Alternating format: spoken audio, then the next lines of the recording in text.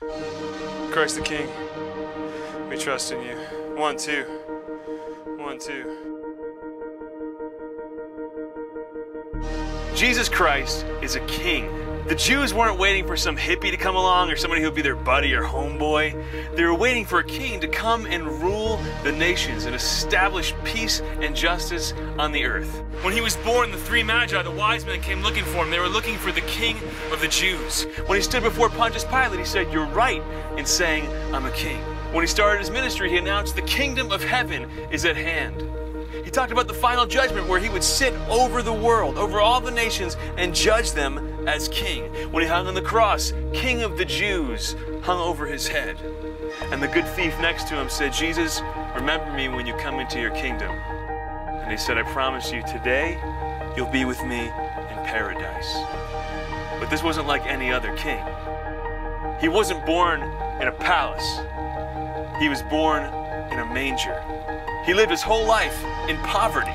Instead of trying to acquire more and more wealth and power, he renounced it every chance that he got. He didn't wear a crown of gold. He wore a crown made of thorns. He was lifted high above the world, but it was on a cross, blessing and forgiving those who killed him. But make no mistake about it, he is a king. And a king has a kingdom, and a kingdom has boundaries.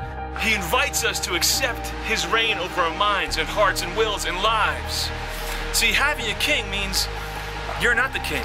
I'm not the king. It means we don't do religion on our terms, but on his. We can't be cafeteria Catholics picking and choosing the doctrines that we follow, picking and choosing our commandments that we want, chucking out the rest. We don't set the terms of our faith, we receive it. Jesus Christ is the king. The fact that he's a king means he reigns over our hearts and minds, which means that our faith has implications in our lives that stretch way beyond what happens in church on the pew every Sunday. The fact that he's my king means I'm called to serve. He washed his apostles' feet and he told them, You call me Lord and Master. Look what I'm doing. If you call me Lord and Master, this is how you're supposed to serve other people. Look, I know it might be scary, this whole idea of having a king. In fact, kingdoms of this world have gone out of style because a lot of kings have violated people's freedom in establishing their kingdoms and their power. But Jesus is unlike any other king. He's a king who guarantees our freedom.